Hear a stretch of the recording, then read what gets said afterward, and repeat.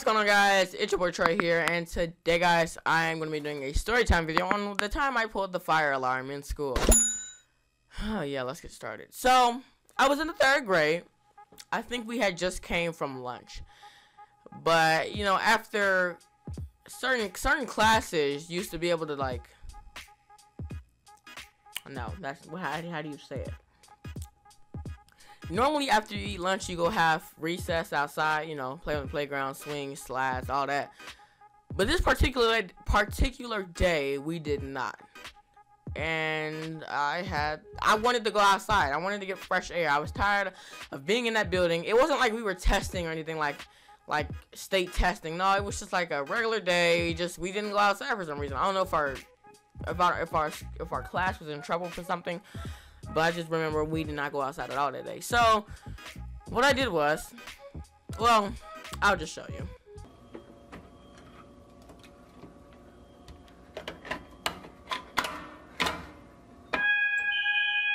And that's what I did.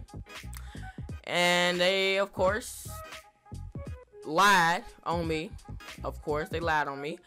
Um, when the when the alarm went off, everybody, my teacher, my teacher, Miss Petrick, P-Track, Miss P-Track, P-Track, Miss P-Track, yeah, P-Track. What kind of a name is that? Miss P-Track, if you watching this video, mm, for exposing, for wondering who did it and then letting the class know who did it. Mm, I hate you. She was like, who pulled the fire alarm? And then the entire class said, the, this is what the entire class said. I'm gonna show you. Who pulled the fire alarm, children? Trayvon, Trayvon, Trayvon. So, um, of course I was mad because I was like, because when the front when we was going downstairs, I said, "It wasn't me, it wasn't me," and then everybody said, "Yes, it was, it was you. I saw you. You didn't see shh, you ugly." I actually didn't say that. I would have gotten written up and my butt beaten as soon as I got home for sure. But I just said it wasn't me, and we walked outside as normal. And my friend Aaron at the time, this little white white kid, I don't know this little white kid asked me, Why'd you do it? It's our lunchtime. And I said, Well, you're just going to have to wait. And it's surprisingly how I remember every sentence from when I got to the point where I got home. This is just until this. I'm still in school at this point. Uh, so we go outside. We do our normal schedule procedure. No fire trucks came because I guess the word got around while everybody was going outside. Like, he didn't tell your teacher. He didn't tell your teacher. Miss Johnson. I think Miss Johnson was my principal. She, Miss, no, Miss Croker. Miss Croker was my uh, principal. Miss Johnson was my other principal at my other school. And I tell you, if that see this video, well, if I see him in the street, I'm getting, I'm, run up, run up. Don't worry, don't work, don't question why I did this. Just know, run up, okay? So, uh, we, we did our normal procedure. We went back inside, and then I don't know how much long later they, my parents came up. Okay, they called me down to the office, uh, and I went this. I went in my principal's office, and I just pretty much told him I didn't do it. Innocent until proven guilty in the court of law. Do you have substantial video evidence? No, I didn't really say that, but I just, they just, they were. My dad was sitting, sitting just like this. And my mom was sitting like this. So I knew when I got home, it was going to be bad. Now, they didn't take me out of school for the rest of the day or for like when they came down. No, they let me go back to class. And then at 3 o'clock, it was go time. Trust me, when I got home, my dad, we'll get to that later. But, yeah, I went in the office, really didn't say much, came went, went back to class. Now, let's get to the point where I, where it was the end of the school day and my mom came up to get me. My dad wasn't there. My dad was at home cutting grass because I remember this part as well. I was, uh,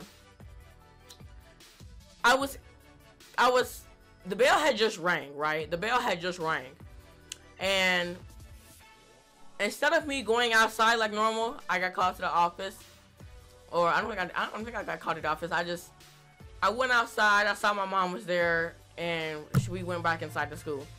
And then behind the, behind the nurse's office, there was a little security room for like the security guards to go in. that has the like the little security camera CCTV footage on the monitor, and they played it back. The thing is, the camera angle they showed wasn't the one where you could see me pulling it. Uh, it was another camera angle that was on the same floor, but it was on the other side of that little hallway. So, and there was a wall, my teacher's wall, my teacher's room's wall was blocking it, so you really couldn't see me unless they flipped the camera to where the camera was. Now, yeah, that happened, and then we went upstairs. After school was over, we went upstairs, and they said, pull, show us how it, and I'll be right back after this short message. So after school, we went upstairs and they, the, the, the, what's his name? The janitor said, show me how it was tripped or I tripped it. And I just stood there like, I don't know. I didn't do it. Okay, innocent till proven guilty in the court of law. I didn't actually say that, but I was thinking it. Um, so then we, me and my mom left. We went home. I went to bed. Actually, I didn't plan to. I tried to watch TV with my t my like I had I, I had a TV box in my room. I couldn't watch it. That my dad locked everything because he was really mad at me. So when I came home, I just went to sleep. At least I thought I could. As soon as I got home, I hear the door open, and he comes to my room yelling, screaming, and just Boy, what did you do that for? I'm like, I didn't do it. I didn't do it. I didn't do it. Well, of course, he doesn't believe me because he thinks I do everything in life. So, Dad, if you're watching this, really, wow. Um, I got a butt whipping for a good few minutes there. It was the best time of my life. And then they suspended me for 10 days. And then after I went, and then in order for me to go back to school, I had to go to trial or court, as you want to say. It wasn't like a real court with a real judge. It was just I had to defend myself from being guilty, or else they was gonna expel me. So I was, I, I, um, they finded me not guilty. Lovely, and I went back to school, and then I, and I, then I failed fourth quarter because I had no pencil. So yeah, and that is time I pulled the fire alarm in school. Hope you guys enjoyed. Um, if you guys want another story time just like this, let me know in the comment section down below. And uh, yeah we'll do it. Hope you guys enjoyed, and I'll see you guys in the next one. Peace!